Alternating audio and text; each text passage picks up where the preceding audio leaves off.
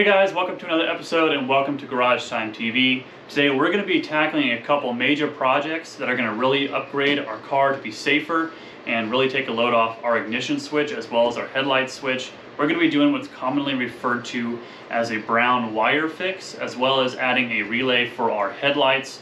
It's a really simple process. I'm going to show you guys how to do it. But before we get started, please make sure you hit the subscribe button down below. It really helps me to continue to make content for you guys as we continue to keep these cars on the road. I'm going to bring y'all in closer as we start to do the brown wire fix first.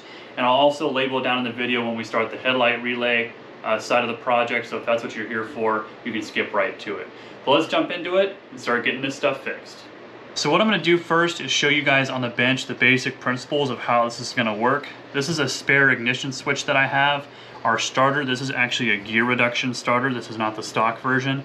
Highly recommend one of these if you can get one. Get your hands on one. It makes a whole world of a difference getting your car started. But this is a gear reduction starter, our switch, and this is the terminals on the back of the ignition switch and our plastic connector that comes with it. Most cars will have this plastic connector. Not all of them, but most will um, so it's easier to take the ignition switch out. So the brown wire basically provides power from the starter stud up through the plastic connector. Then from the connector, it goes through the brown wire, which is gonna be right here, our brown wire, and that attaches to terminal 30 on the back of our ignition switch. And this is where all of the power for the car comes through. It's all funneled from here through that brown wire, through the connector, onto the back of the terminal and through the switch. Now this is an often uh, really common place for failure on these ignition switches and electrical problems in our cars, which are notorious. Uh, they're notorious for having. So the best way to fix this is actually to use the extra number 30 terminal on the back of our ignition switch and run it directly from our stud of our starter skip this. That way we avoid resistance, and which equals heat, so we don't melt any connectors. And hook it directly into the other number 30 terminal on the back of our ignition switch.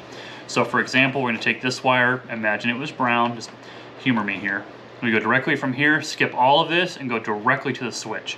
Now since there's two terminals, uh, two 30 terminals on the back of the switch, it actually works better and safer, less resistance, and you're evening out the power um, between two terminals rather than funneling it all through one.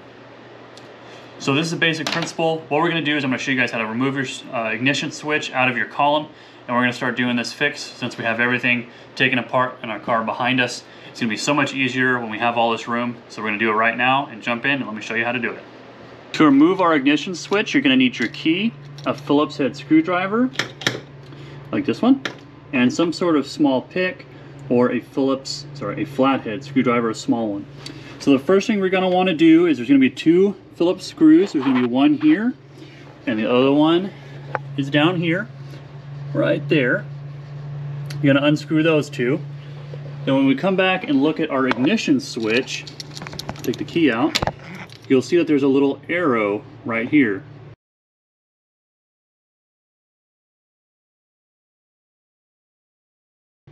you're going to turn the key to face that arrow like that. So now the key is facing that arrow. Once you remove those two uh, Phillips screws, there's a hole here on the side. That's when you take your pick and you press down on the button on the inside and should bring your whole ignition switch out. Make sure your connectors are disconnected on the back side here and over here. And if you notice, our connector is really, really corroded and really melted. And it looks like someone else already tried to do the brown wire fix. And if that's what you call a fix, you need to reevaluate because that's pretty bad. And it's scary to think that we were testing electricals with the way that this is wrapped like this with just some electrical tape. So it's a good thing we're going through here and checking this and getting it done correctly because this could have been a really, really dangerous fire hazard. So pretty simple process to remove our switch. So let's get it out.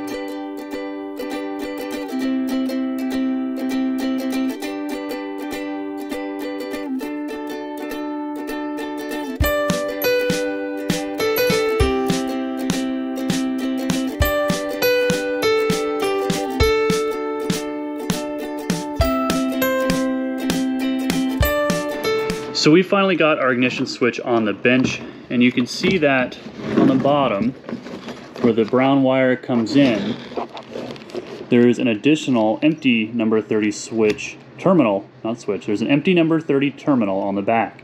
That's one here parallel with this other brown one. So somebody has not done the recommended brown wire fix, but they did this hack job of, well, look how melted that is. That's really bad. And someone like filled it in. That's that's real bad. But then this is, I think, the icing on the cake, where they just twist it together, put a little bit of solder on it and call it a day, and wrap it with some electrical tape.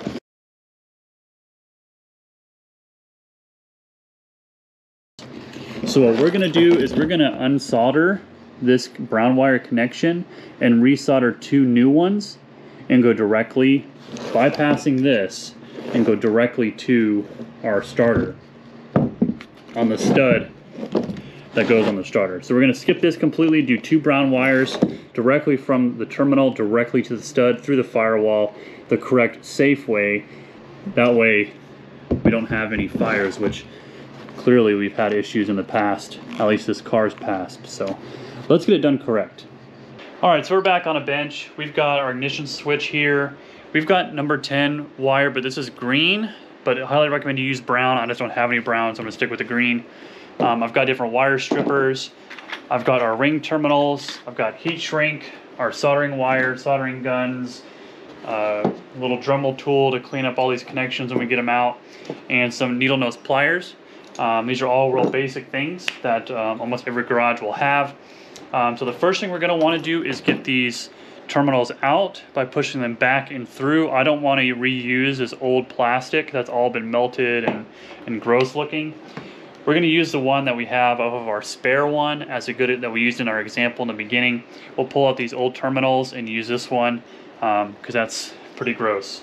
So let's get this one taken apart and uh, cleaning up these terminals here.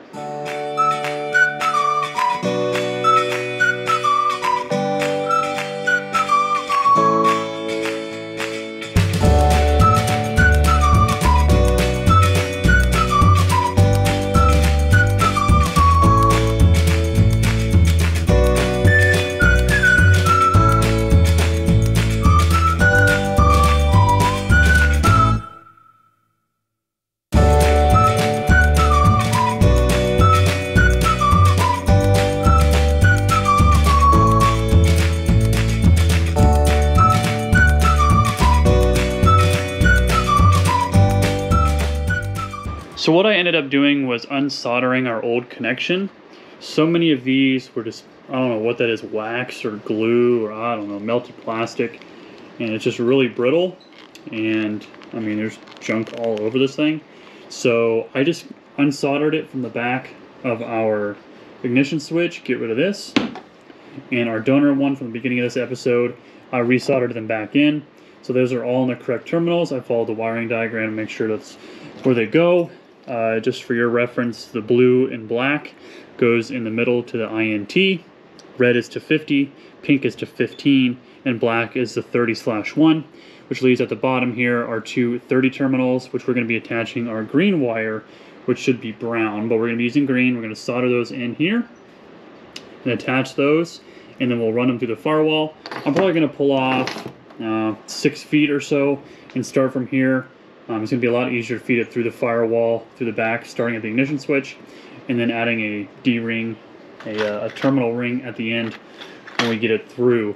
Um, that way we're not soldering underneath the ignition switch and stuff like that. Just get this hard part done and over with. So let's get that in there, cut out our length of wire, and then we can start feeding it to the firewall and getting it connected to the starter. So we've got our ignition switch back installed. It's just to reverse of the process. Just make sure your key is pointing to that little arrow push in the button and it should slide all the way through just like this and be seated back in. So you can see we've got the wires coming in and we've got our green wires which are our brown wires. Those are going to go up under the dash here. They're going to come out the firewall on this side, out through here, and we should be able to tie it into this loom. Um, but we're going to go down to our starter, which will be sitting right about here. So we're going to undo these two nuts here and see if we can bring it down and maybe use this clip to help hold those wires until we go to an engine installation or we'll just kind of tie them up here out of the way until we get our starter with our engine and everything back in here. That is prepared for when we get in there. So let's get those wires through the firewall and tied up out of the way.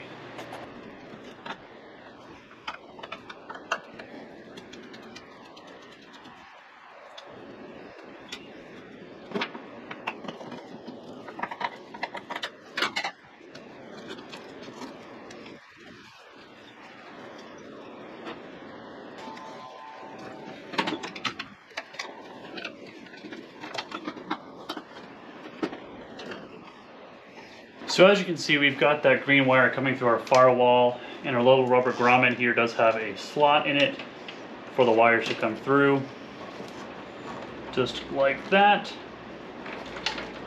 And we'll be able to put our metal retainer, we'll probably clean it up, shoot it with some fresh paint and stick it back on there. Um, but for now, we are gonna tuck these out of the way because our old brown wire, which we're not using anymore, is going to be removed. So that is going to be disconnected down here. And this is what's going to go in it and replace it. We're just going to solder on those ring terminals. That way we can put them on the starter. Um, and double, double is better. So that is our brown wire fix. All we have to do is attach this to the starter and that is taken care of. Less resistance, brighter lights, and less heat. So that's always a good thing when it comes to electrical. Alright guys, so the second half of this video is going to be installing our headlight relay kit. This is available from vickauto.com. I'll make sure to drop a link in the description down below where you guys can get yours. It comes with instructions, but we're going to crack this open, lay it all out, take a look at it on the bench, and then we're going to jump in the car and make our headlights so much brighter.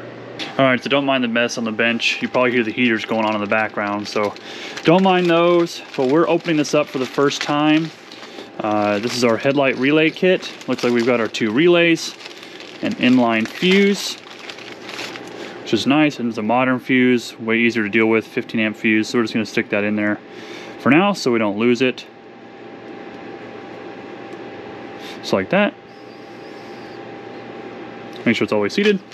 And let's crack open these directions. Real simple, one page, tells you exactly where everything goes. Black to ground, blue to power, uh, whether you use your starter bolt or any other 12 volt source. Your long green and brown wires are going to be here. Our passenger headlight, the short green one is for the driver's side. The white wire is for the harness uh, back to the firewall. And the uh, red fuse holder, which is the yellow one here, um, you splice it into the power supply. So we've got a little bit of soldering to do. Um, not a big deal, real easy. Something that can be done on the bench before we get into the cars. And these are our relays. They come with uh, the de description on top of what they are. Also comes with these little hold brackets. You just kind of slide them in here. Depends how we want to want to do it, but I think we're gonna go um, hang them up like that. We'll have to find a spot in the engine compartment where we can hang these out. That way they have a good place to to sit and we will get those situated. But it's nice because these are already connected, already ready to go. We can see we've got our one ground, if I can bring it down for you guys. We've got our one ground wire. We've got our longer one to go to our passenger side because these are going to be mounted on the driver's side inner fender well on the wall there. We'll find a good spot for these. And we probably will run it off of either the alternator uh, when that comes in the car or on the um, down straight to the starter. I don't know if I want to super overload the starter post because we've just got done with that brown wire fix. So we'll have to kind of see and uh, get a feel for it when we get to that point. But we're going to get this installed um, and all wired up. We will have to change some of the connections because these are the older style connections. We have those bullet connectors, those round ones. We'll probably have to snip those off and put some spade connectors in here. That way they fit in easily um, with some heat shrink so we don't short them out. So let's get, uh, get a little bit of stuff soldered together. That way we're safe, good connections, heat shrink, all that good stuff. And we can jump in the car and get this all set up. So we found a home for our relays. There's an old, um, I'd have to do some research on what it is. It's some type of other relay that didn't have anything plugged into it. So we'll find another spot for that, maybe upside down or somewhere next to it. But there's two studs where we could screw these relays on, nice in front by the ground. So what we've done so far is we've drilled the holes for the mounts a little bit bigger, that way they'll slide over those studs. And we've got our black ground wire as part of our relay grounded to the car behind the post. Now I did shave off some of that paint so it's touching bare metal, that way we have a good ground. And we've got different kinds of connectors. So these are normal spade connectors, but what our car has is what's called bullet connectors, or just kind of rounded um, connectors that just slide into place, slide together really easily. So what we're gonna have to do is snip these off, and we have our own new replacement uh, spade connectors. So this double white wire actually goes back into the, towards the fuse box, towards the, the cab of the car. This green and brown actually goes to our headlights, and then we have a duplicate green and brown on the other side of the car. And then our blue wire goes to power, uh, where we're gonna put our inline fuse, either to the alternator, which is in this general area, or uh, we can go down behind underneath the booster to the starter post. Be kind of cleaner to hide the wires down below. But because we don't have anything in the engine bay, we're just gonna attach this for now. We're gonna solder that together, put some heat shrink over this connection, over all of our connections, and we'll just have to leave this out for now uh, to see which way we want to go, alternator or starter. So let's get a, a good time lapse going here. I'm just to be soldering connections, putting some heat shrink on connections, making sure they're all solid and we don't short out anything. Um, so let's knock it out.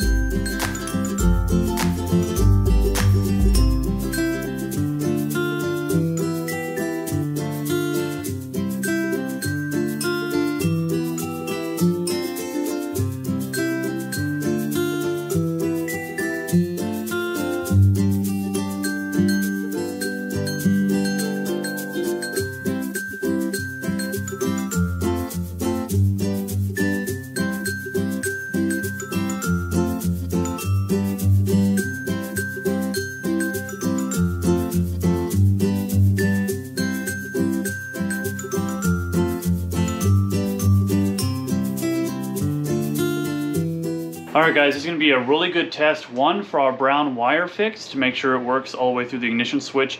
And it's also be a good test for our headlights. Now last episode, two episodes ago, we started working on our headlights to see if they even worked. So I'll take a clip of that and show you guys what that looked like right now.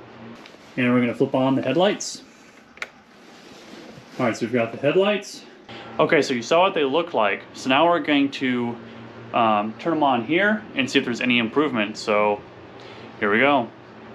All right, so we're turning our key on. We've got power inside the cab, so that means we've got wire power coming through our ignition switch. Oh yeah, that's regular, and that's brights. Much better, much, much better. They probably need to be adjusted as far as the angle where they hit. I think they're a little too high, but those are much brighter. Much, much better.